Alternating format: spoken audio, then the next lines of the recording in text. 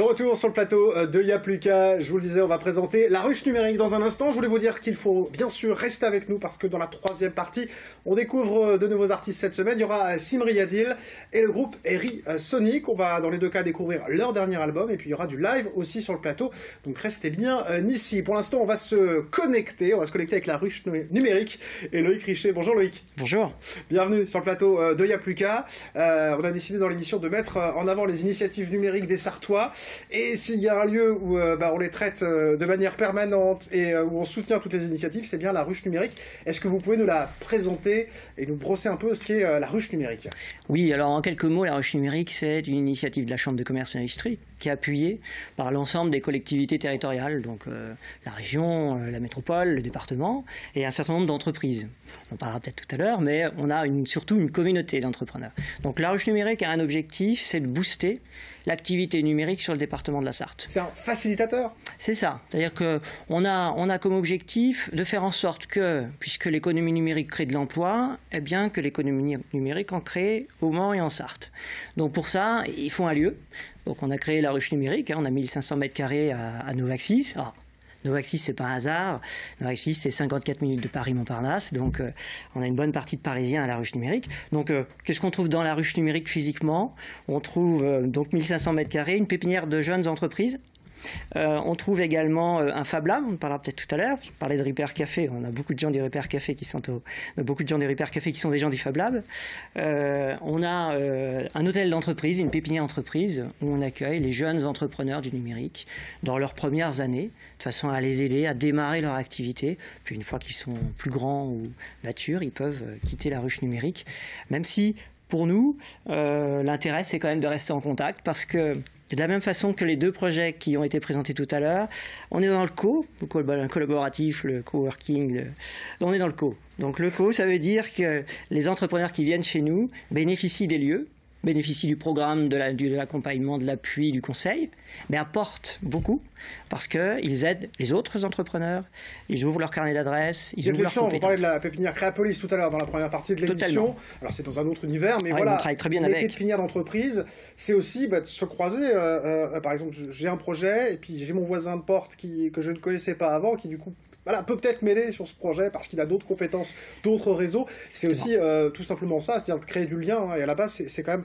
extrêmement important. J'entendais ce matin euh, sur une grande radio nationale que euh, la France était dans les pays où il y avait le plus de start-up, start-up qui sont évidemment le quasiment tout le temps dans le, numérique.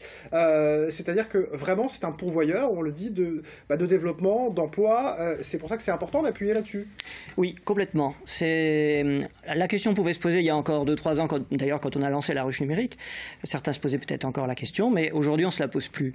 Euh, l'emploi dans le numérique, c'est complètement vital pour un territoire et comme une métropole, pour une, métropole, disais-je, comme Le Mans, c'est totalement vital. on est tenu d'être euh, intéressant, d'être attirant, attractif pour que des jeunes entrepreneurs puissent venir, jeunes ou moins jeunes d'ailleurs, puissent venir s'installer sur Le Mans et sur la Sarthe parce que c'est une filière qui crée beaucoup d'emplois. Alors il y, a ça, hein, il y a les entreprises du numérique qui créent de l'emploi, euh, elles créent des applications, euh, elles font du crowdfunding comme pour Yogo on en a parlé tout à l'heure, etc., etc. Ça, ce sont des emplois. Puis derrière, surtout, quand vous avez des entreprises sur, une, sur un territoire, on reprend l'exemple d'Apoyogo, eh bien, on diffuse un certain nombre de bonnes pratiques collaboratives, on diffuse des nouveaux usages, des nouveaux outils dans ce qu'on appelle l'économie traditionnelle, qui est l'économie qui est évidemment la plus hein. importante. on est d'accord. Hein, surtout pas, surtout pas. Et, et, un lieu comme la Roche numérique est un lieu extrêmement ouvert. Est-ce qu'on peut justement préciser, euh, donner plutôt quelques exemples concrets? Parce que euh, bah, quand ça nous est un peu étranger, je suis sûr qu'il y en a certains qui nous regardent là, voilà, le numérique, ça ne veut pas dire grand-chose. Concrètement, quel type d'entreprise Qu'est-ce qu'on fait Qu'est-ce qu'on fabrique, si je puis dire, dans, la ruche numérique? Les entreprises qui sont présentes dans la pépinière, elles font quoi? Alors, on a des gens qui sont dans, la création de sites internet. On peut dire que c'est assez classique, mais euh, on a des gens qui, industrialisent un petit peu, hein, des gens comme Alain Mail, par exemple, qui sont arrivés de la région parisienne, qui industrialisent la production de sites internet, c'est-à-dire qu'ils en font une grosse quantité, principalement dans le e-commerce. On va avoir par exemple une jeune entreprise qui s'appelle Maker Shop, qui est une entreprise intéressante. Euh, deux personnes il y a euh, six mois, sept mois, qui sont, sont six, sept personnes aujourd'hui. Euh, ils sont devenus le leader français de la distribution d'imprimantes 3D en France. Donc, euh, ils ont su se mettre sur un, marché très porteur, mais surtout ils sont bien meilleurs que leurs concurrents. Avant et en étant bons, quoi. voilà. Donc on a des entreprises de ce type-là. On va avoir une entreprise, par exemple, Marge et Colonne, qui est un spécialiste de la formation et du conseil dans le domaine du digital publishing. En gros, vous avez un journal, bah, demain, vous le regarderez sur une tablette. physique, quoi, sur un, bon vieux papier que je veux mettre euh, euh, sur en vidéo, euh, voilà, et vous allez pouvoir interagir, etc., etc.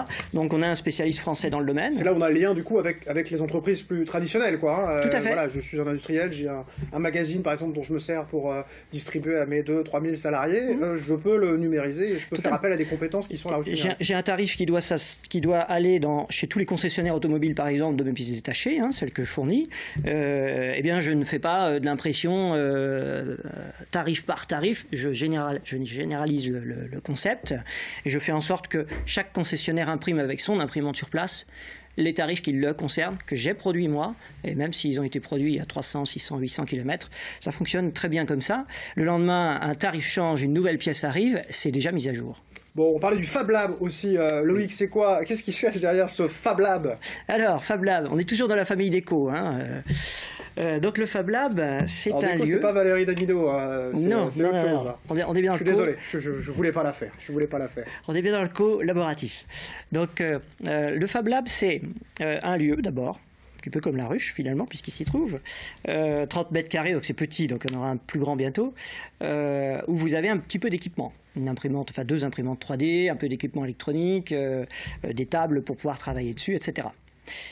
puis derrière, vous avez une communauté.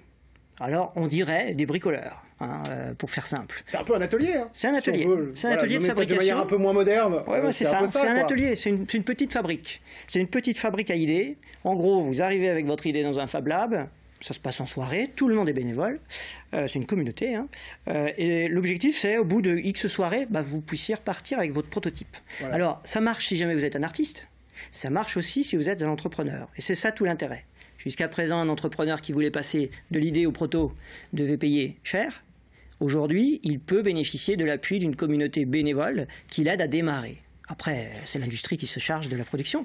Mais dans un premier temps, on arrive à un proto pas cher du tout, des idées partagées entre les uns et les autres. Quelque chose de concret pour aller voir une banque, par exemple, un développeur. Eh bien, exactement ça. exactement et que le, projet euh, passe de l'idée à, la réalisation. Exact. On va terminer parce que le temps file par cet aspect euh, euh, formation, je dirais, aussi bien des, gens qui sont déjà dans l'univers du numérique, mais aussi le grand public un peu, pour, nous aider Alors, on a, un peu. oui, on a beaucoup d'opérations qui s'adressent, y compris aux enfants, et on a des, opérations qui s'appellent des coding goûtés, par exemple, où on apprend aux enfants les bases du code de manière très très euh, ludique, hein, forcément, avec un petit robot, euh, petit robot de l'université du Maine d'ailleurs. À partir de quel âge on peut y aller, soyons très précis, Je crois que ça commence à 7 ans. 7 ans Oui, oui, ah oui. c'est des, des, choses très très ah simples. Mais ils arrivent à faire des catapultes qui envoient des billes euh, dans les couloirs de la oh, rue. D'ailleurs, c'est très sympa. C'est dommage. Bon. Donc voilà, donc on a beaucoup de choses comme ça. Et évidemment, on est aussi acteur, parce que tout ce que je dis là parle d'un du, lieu. on a aussi une activité, une action sur la stratégie de développement territorial. Donc comment décider de spécialités pour le territoire autour du numérique. On a des pôles mondiaux euh, tels que le traitement automatique de la parole. Hein. La reconnaissance vocale au Mans, c'est un pôle mondial, de niveau mondial. Euh, on a des pôles mondiaux dans le e-learning euh, au Mans, on a des pôles mondiaux dans la sécurité des systèmes d'information.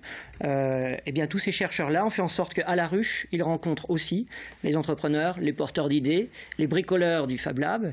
Et quand on mélange un petit peu tout ce monde-là, on arrive à, faire sortir un certain nombre de projets, surtout si on les fait financer par Apoyogo derrière. Bon, eh ben impeccable. On va s'arrêter là pour aujourd'hui, mais bien sûr, je suis sûr qu'on reverra dans Yaplica des gens à cette ruche. On leur dit, bah, n'hésitez pas, venez nous, nous présenter hein, vos projets c'est absolument fascinant de voir ce qu'on peut faire. Est-ce que justement le numérique a, aussi d'impact dans la vraie vie hein? Le numérique, c'est pas que du virtuel et de l'internet. Euh, on l'a tout autour de nous euh, tous les jours. Merci, euh, mon cher Loïc, d'être venu dans Y'a plus qu'à. Merci.